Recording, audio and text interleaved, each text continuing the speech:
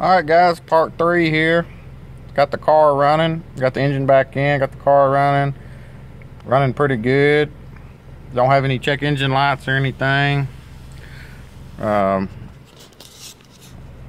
let's see. This engine went into the car. It went in a lot better than it came out.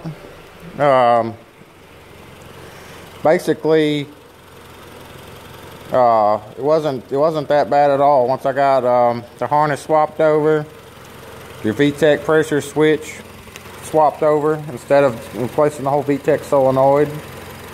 Um, what else did I have to do?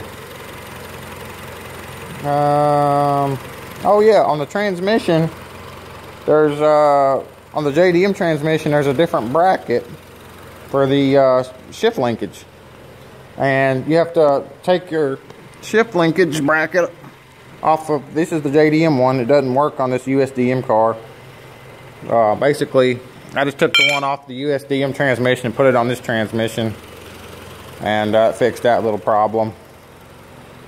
Also this uh, now here's your uh, shift linkage uh, cover.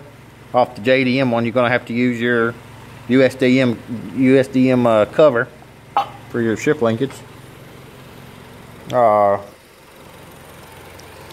like I said, man, the hardest part was probably putting the freaking um, serpentine belt back on the car once I got it in there, got in there and everything. That was probably the hardest part besides that and the air box.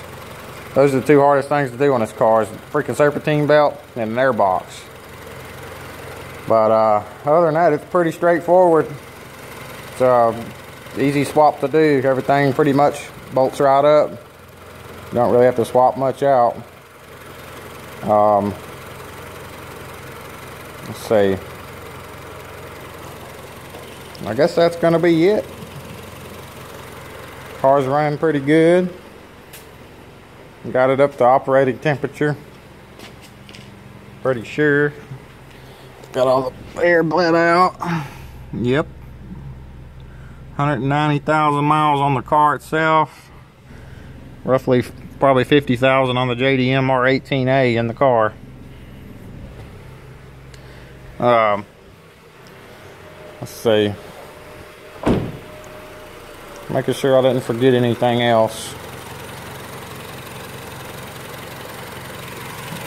We get a little shot, if I can, of the uh, engine code so you guys can see that it, and that it's an actual R18A. In this car.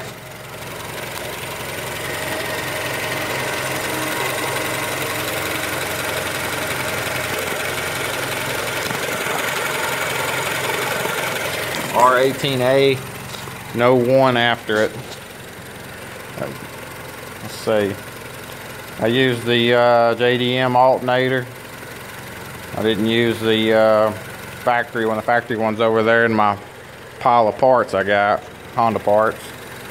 Might as well, they were the same alternators. I might as well use the one with low miles versus the one with 200,000 miles on it. So, uh, but yeah, that's it. If you guys got any questions, uh, if you're doing this swap on your Civic or got a bowed up motor, uh, it's a good alternative. Can't beat it. Thanks, guys. Have a good one.